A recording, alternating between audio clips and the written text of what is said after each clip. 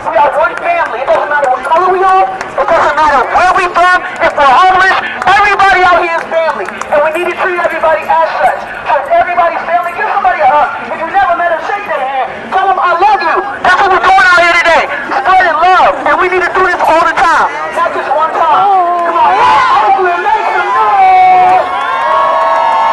If you never seen me before, my name is YD. I work at the pension bar. Love being me. I also take care of my mother 79 years old.